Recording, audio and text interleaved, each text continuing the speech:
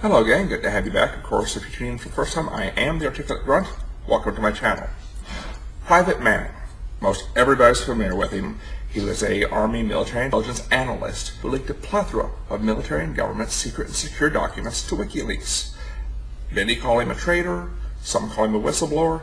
Either way, he was convicted doing 35 years. Now, as soon as he was convicted, he came out that he was transgender. He was a woman trapped in a man's body. He was confused, and that got him a lot of sympathy from other arenas as well. I'm going to avoid all that because he's back in the news again, and I just want to make you a little smarter, something to think about. Now, his lawyer is saying that because the military does not provide for gender reassignment, that they are violating his civil liberties by refusing to transfer him to a federal penitentiary, to a civilian prison and that's being looked at as an option. However, I think what they're doing is going for a loophole.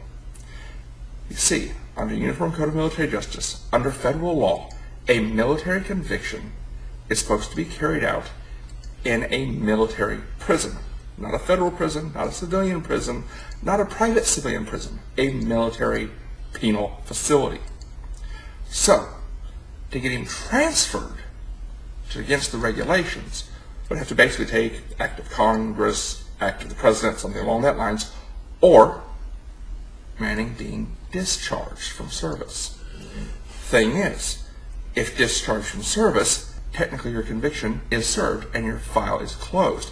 Therefore, they would have to either release Manning to turn him over to prison system, or his entire file, everything, the entire case would have to be reevaluated and possibly even retried in a civilian court, which, oh wait, doesn't have jurisdiction on treason. So I think what his lawyer is doing is going for a loophole. By claiming that his civil liberties are being violated, he's trying to force the military to either release him from custody or get him retried in a civilian courts which don't have jurisdiction over some of his criminal offenses. Thus, possibly just straight up setting Manning free.